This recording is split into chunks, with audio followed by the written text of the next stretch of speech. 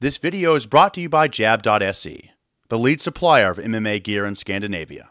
BetSafe.com, Europe's only online betting site for MMA. Sebastian Miller Martinez with MMAnytt and Studio MMA, and we're here with Terry Etim, who takes on Renee Forte at the UFC London 2013. And so, Tuster, how are you? I'm good, you know. Very good. Uh, obviously, looking forward to Saturday night and looking forward to get back in the octagon and get back to winning ways.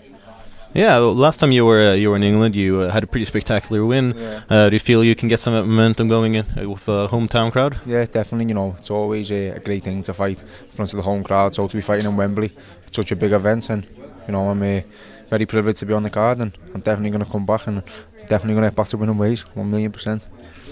Now, your opponent, the Brazilian uh, Renee Forte, um, he was on the Ultimate Fighter Brazil. Have you have you seen much of his fights? Yeah, I've seen one or two of his fights. I know he was on the Ultimate Fighter Brazil, and he was fighting at middleweight. Then he's dropped down to welterweight in his last fight, and now he's obviously going to try and drop down to lightweight. You know, so I'm expecting him to come and be strong at the weight, but I think I'm going to be too fast and too sharp, and this fight's only going one way on Saturday night, and that's going to be a win for me. So you feel like his size advantage might be a bit of a disadvantage? Oh, yeah, I mean, you know, I, I'm not expecting him to have a problem making the weight, but obviously coming down from middleweight to lightweight, you know, it's a very big jump. So we'll see how he actually copes in the fight with uh, losing that much weight. Is there anything special that you've trained on in order to prepare for taking on a larger opponent? No, I mean, I've just been working on my whole game as usual. I think MMA's evolved so much now. I think you've got to be working non-stop and you've got to work so hard on your whole game, and that's what I've been working on. I think my speed and my skill set and and my mindset as well at the moment is what's going to win me this fight. Now, yeah, uh, your last fight, and you came up short, unfortunately. Uh, up until that, it was it was pretty even.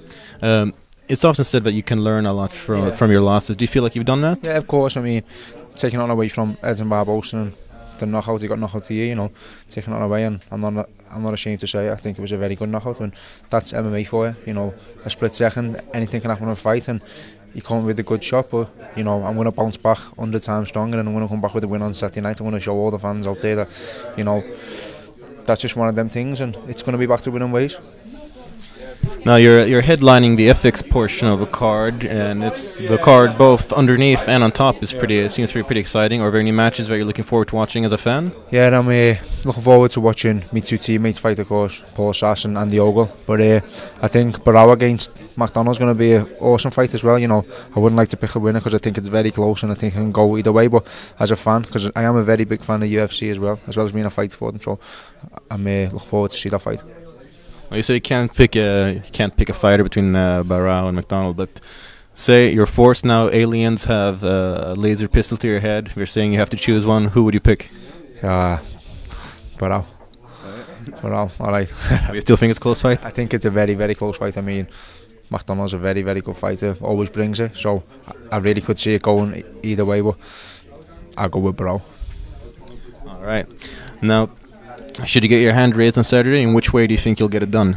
Uh, you know, 100% my hand is getting raised, and I can see it being with a nice knockout. Any prediction which round it'll be?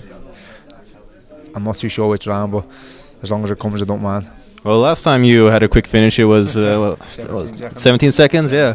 Do you think you can top that, or I mean, to be honest, I think that's going to be a little bit hard to top, but you know, anything around that won't be bad. All right, we'll look forward to seeing what happens. Terry Etim takes on Renee Forte on UFC London 2013. Thank you very much and good luck.